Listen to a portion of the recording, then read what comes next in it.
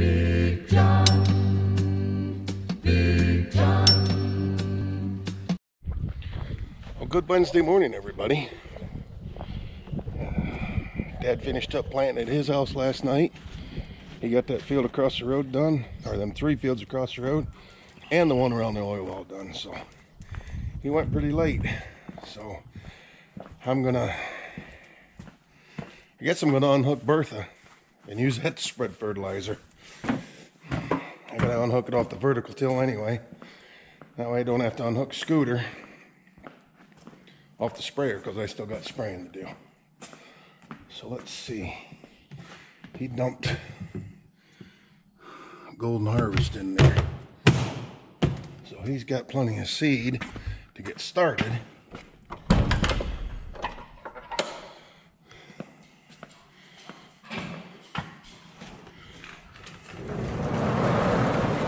Hear you. I just don't see you.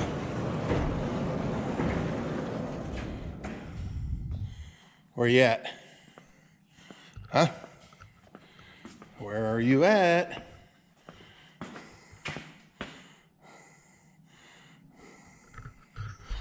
He smells something.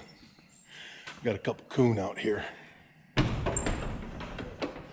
That need to be, oh, sorry, that need to be gotten rid of.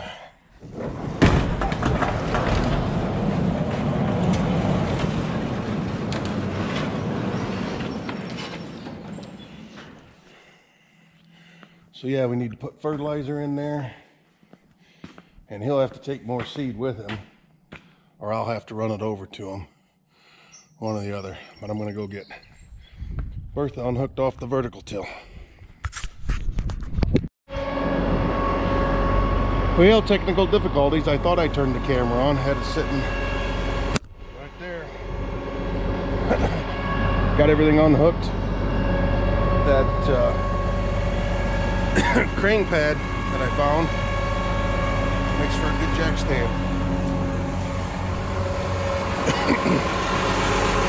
so now I gotta change PTO shaft out. It's got the big thousand, or it's got the small thousand in it. I need to put the 540 in it. So we'll pull up here by the barn. Make sure nothing's following us. Looks good. So yeah, we'll get that changed out. There's a box right here. It's got all three PTOs, well two. The small thousand is in it for running the grain cart. And the 540 and a big thousand in there. So we'll change her to the 540 and uh, go from there. All right, grab my socket set. If any of you guys have this little Kobalt set or you ever buy one, here, let me show you. That's what the front of it looks like. Make sure you open it upside down because this stuff falls out when you don't. The stuff in that side, which you would think is the bottom, is all attached, but this stuff just lays there. So, I think, if I remember correct, we got to take this, these three bolts out.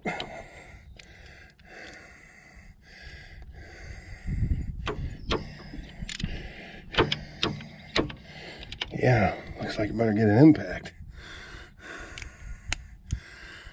Hang on. All right, got the hillbilly impact. Yeah, I broke that one loose already. Actually, I got them all three broke loose.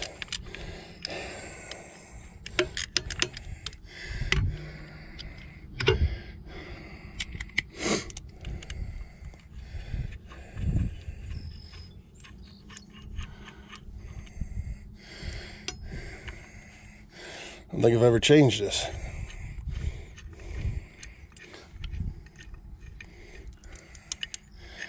Well, no, I think I did because I think the big thousand was in it when I got it.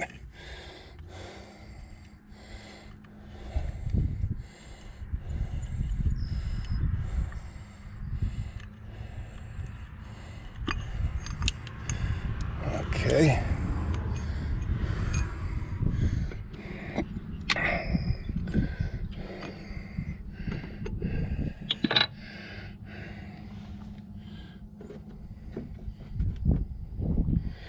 See, there's the difference. See how short, long that stub is?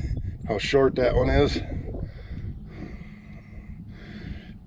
When you push that one in there, that long nose pushes a shifter, basically. And this one don't. So that that won't go into high, it'll stay 540. That's how the tractor knows which one you've installed. Yeah, it's a little bit of overkill for spreading fertilizer, but you know what? This tractor's got guidance on it, and the rest of them don't. So, well, Scooter does, but Scooter's hooked up to the sprayer. I don't want to unhook that.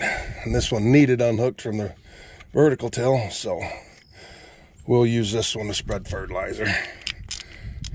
Preci precisely with the guidance.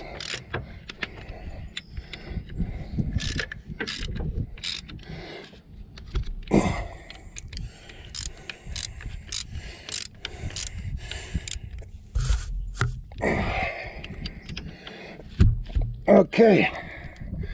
Voila. Uh, yeah, it comes in this case. So, yeah. Pretty nice.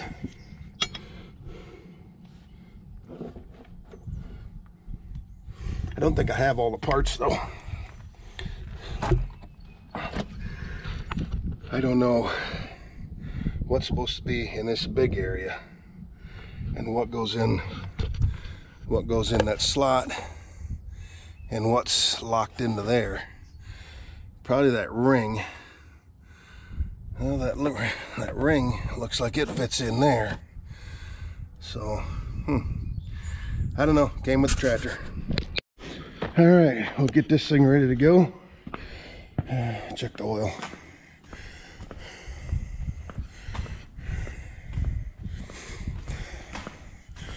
I know it's good. This thing don't burn no oil. Yep, right on the money. I was talking about the aftermarket turbocharger on it. Here's it's got its own uh, filter. Pressure oil oil comes out of the block here and goes up through this filter before it goes to the turbo. So, you know, here's your regular oil filter. Here's the filter for your turbocharger.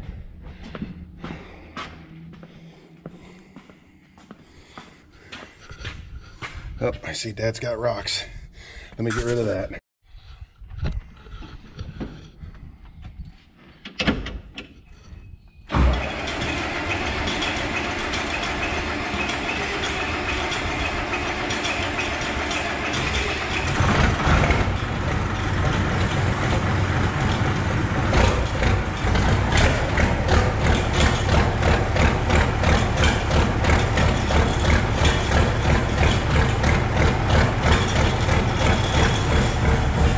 There's that low I was telling you about. All right, so we run starter fertilizer. Comes out of the Keeton seed firmers right here in every row. So we put on about five gallon of the acre and it's nitrogen and it's got an additive in it too. But the, the stuff separates when it sits. So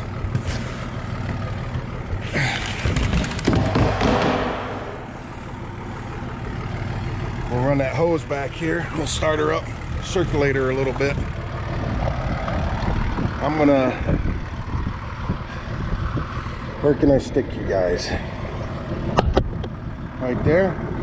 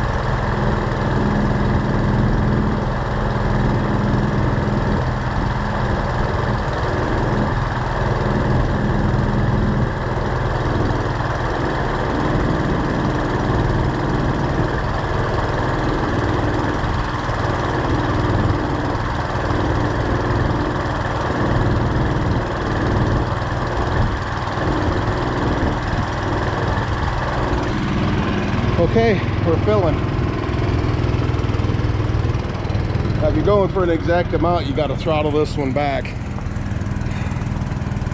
Because the line from the fill comes over here and tees, so most of it's going to go straight through. Then this line here comes down and tees into there and then fills the tank.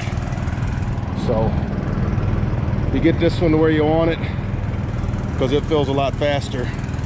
Then you shut that tank valve off and let this one fill up.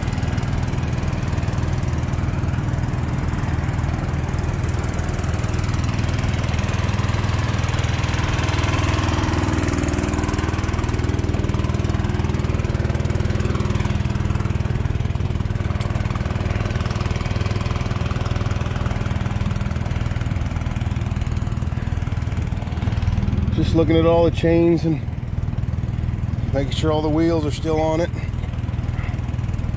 See, this got the same kind of system as our grain drill. Change these two sprockets out. There's your assortment of them. That's how you change your population by the speed at which the that shaft turns. This shaft goes all the way from one side of the planer to the other. Every row unit has a chain. Comes back in here and turns turns the unit.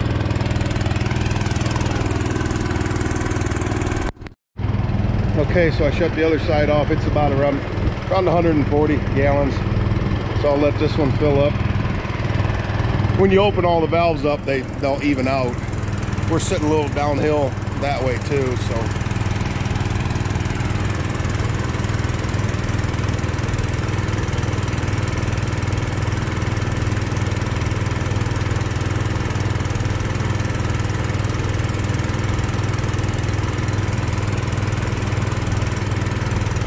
I see it's pushing. Getting fertilizer driven on out the bottom. So that's this valve. That goes to the pump. Didn't think about that. I'll remember next time.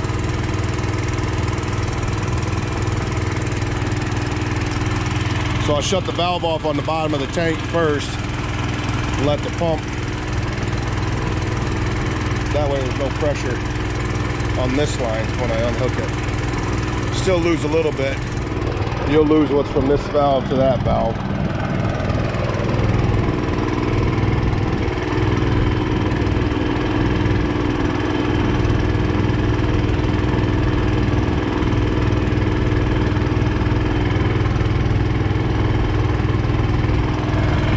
All right.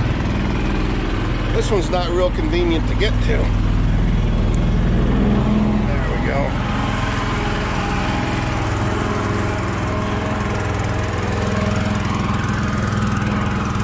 All right.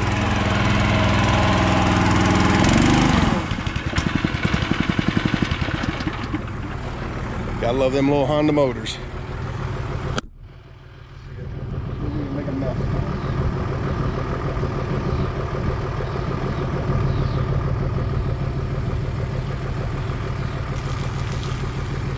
That ain't bad. Maybe a quart.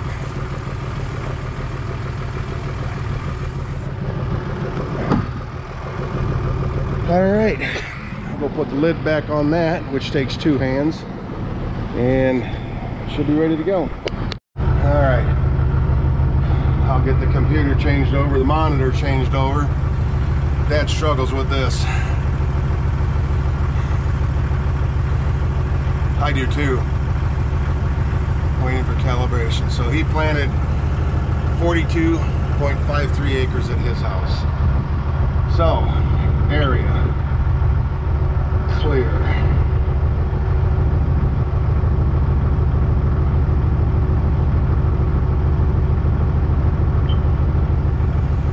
All right. Select.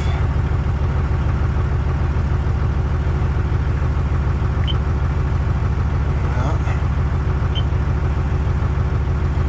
Going to Woodville. And that would be number five.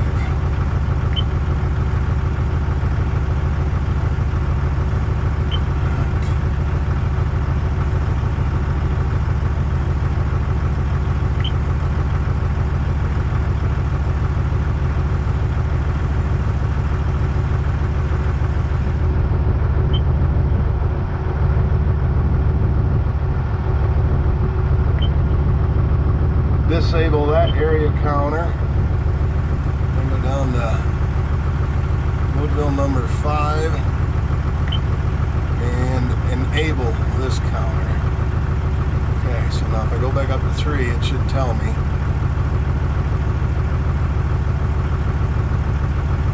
Nope, I cleared it. Oh well, I can go back to the video and bring it up if I have to. So there's the check mark. All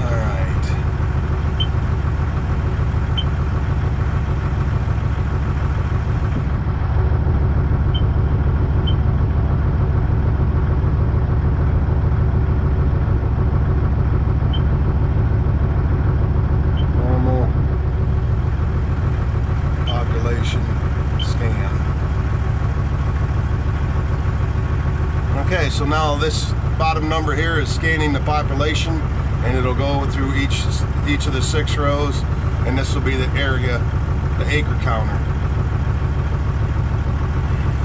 And then you can go to row spacing.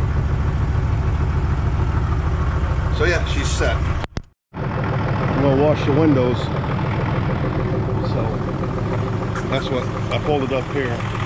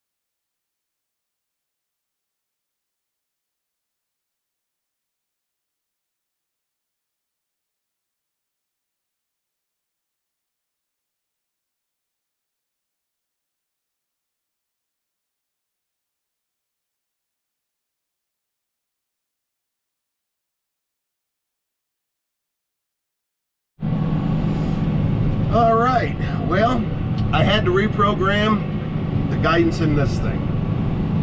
I, think I told you about that the other day. In Scooter, I had to uh, redo my, uh, that's an aftermarket, but this is the actual case one, but still I had to, I had to go in and cancel, uh, disable 138, satellite 138, and go and enable satellite 135 and a couple minutes later boop it took off. So that's the main reason I wanted to use this tractor is for the guidance. Because this field has worked kind of at one angle and it's harvested at another angle. So I wanted the guidance to keep it straight. That way if I run out of material prematurely or I've got something left I can say listen I spread it with the guidance every 40 feet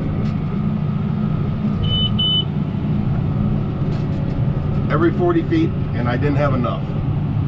You set the machine, I didn't do it.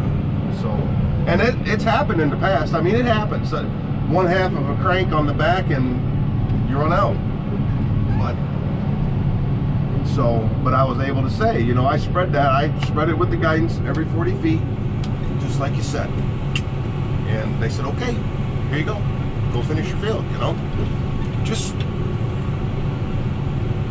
and like I said, I worked it one way with the vertical till and it's harvested another way and it's weedy, so trying to follow the rows and stuff like that, it would have been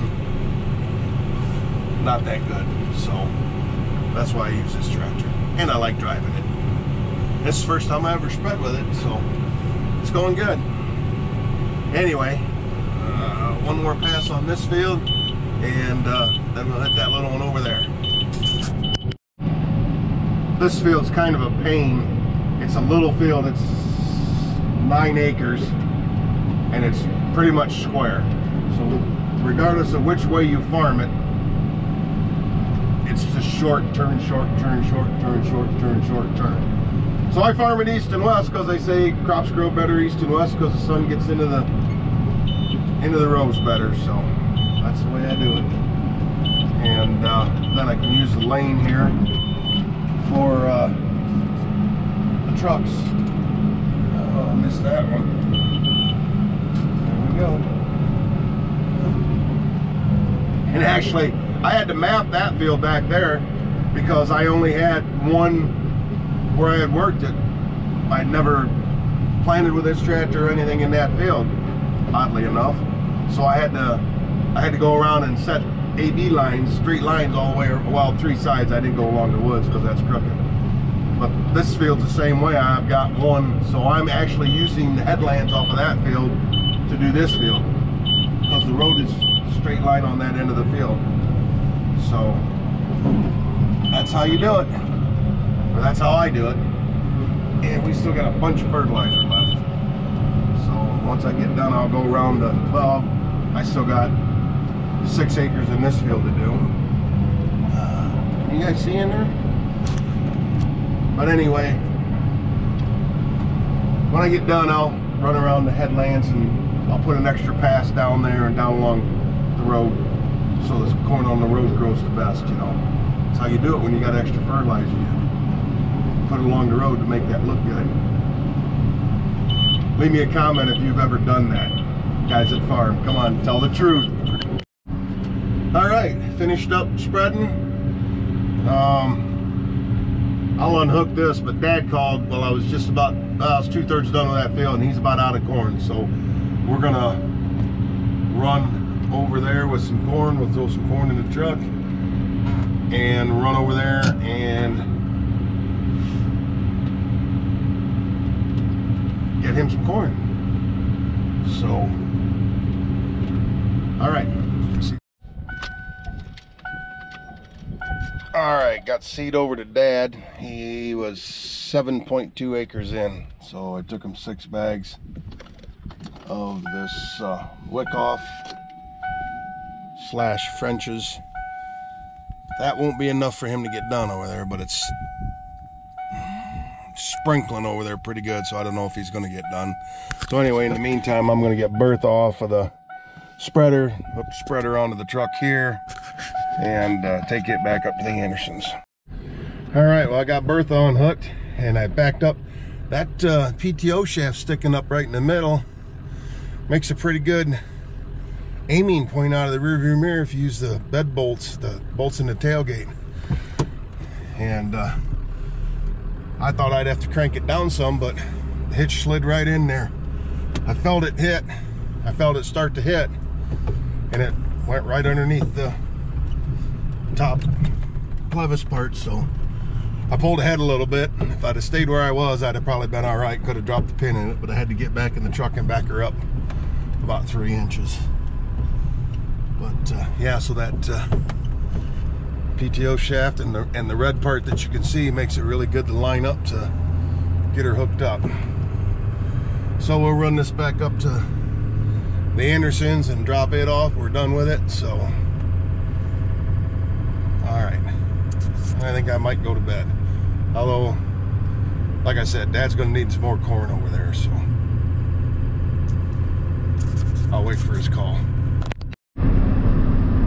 All right, fertilizer spreader delivered. I think I've said it before, but this truck, I don't know if you can see that, 146,000 miles. It's a 97, three quarter ton, cab and a half, eight foot. okay, like I was saying before the battery died, again. Um, yeah, that truck of dad's is something else. Purrs like a kitten, 7.3. I'd hook that truck onto my big old camper and I'd go to California with it. I'd leave tomorrow with it. That's how much I trust that truck. It just, you don't drive it in the winter. The body's super clean. It gets parked in the shed. 149,000 miles, so yeah, she's a peach. But he called, he's back out of corn again. And uh, so I'm running six more bags over for him. And uh, that'll get him done over there. The road's wet here. But uh, evidently it's dry enough over Woodville to, yeah, see the road's drying up here. Mile and a half north of my house there, and the road's drying up. So, of the fields. So anyway, he'll be able to finish that, get back to my place, and uh, I don't know if he's going to want to plant anything or whether he's just going to put her in the barn and call her a day. That'll be up to him. So, we'll see you over there.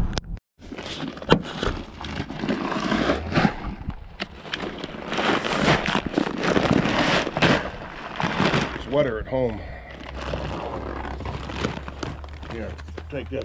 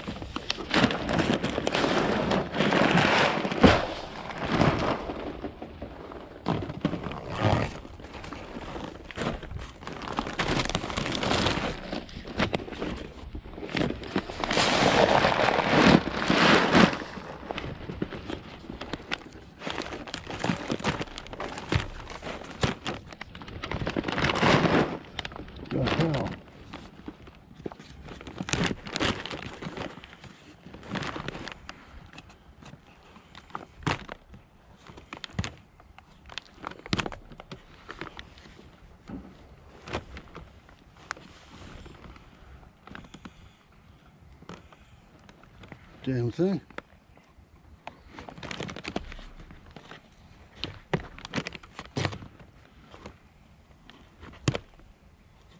Huh.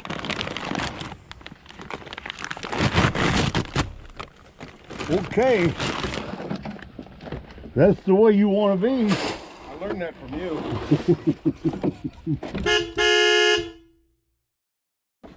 I'm gonna tear that off.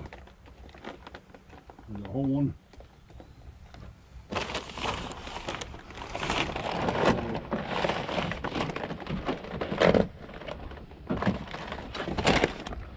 What am I gonna do with that? I'm keeping track because you're not writing shit down. Well, hell, I ain't. down.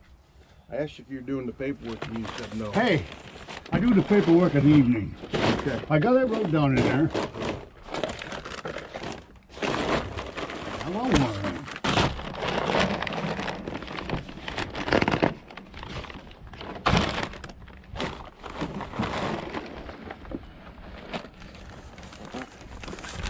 I put him on the tailgate because the bed was wet.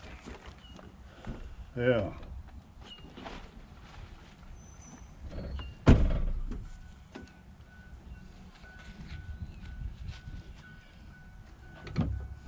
I was gonna get Bertha on the grain drill, but I figured nope, I'm gonna leave the barn open so you can pull in there.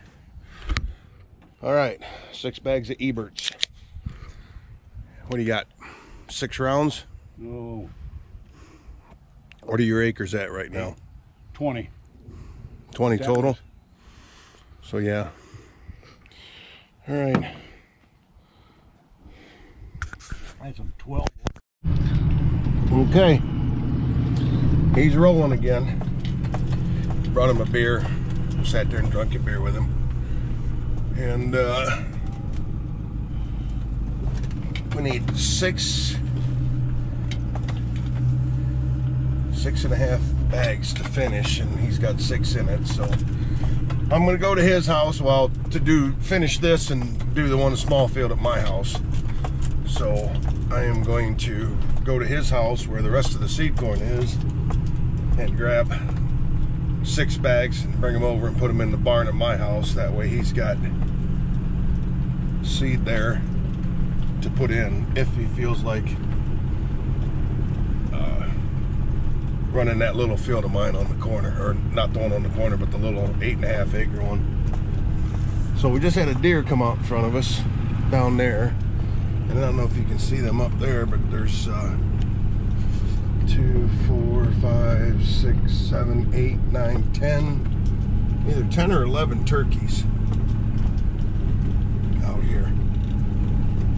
Just waiting for us to plant the food plot for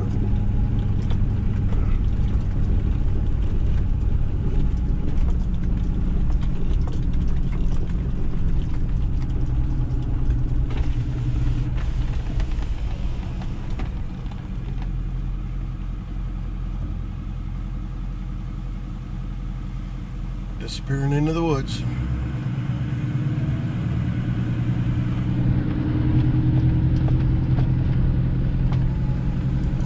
We've had turkeys over here for a long time. I'll bet close to 20 years we've had turkeys over here. Just showed up one year. Don't know where they came from. So, anyway, I'm going to head to Dad's, get some seed corn, put it in the barn for him, and then going to bed. So, we'll uh, catch up with you tomorrow in case something interesting happens. Thanks for watching, everybody. Okay, I went over to Dad's in the garage over there and grabbed the last of the seed corn.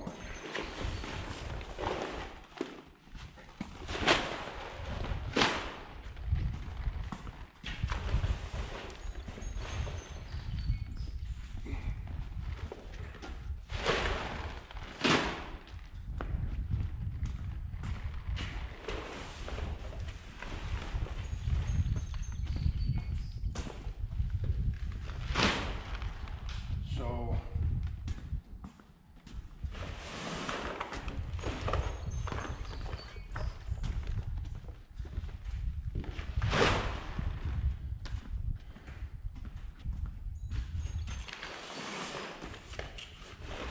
small seed this year, 44 pound bags.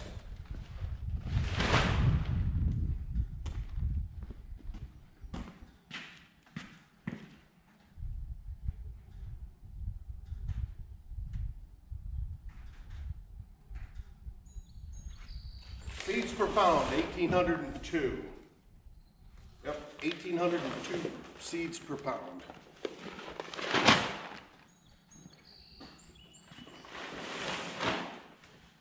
So that should, finish everything. So.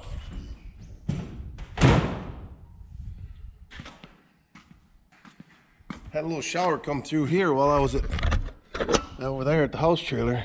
I could see it.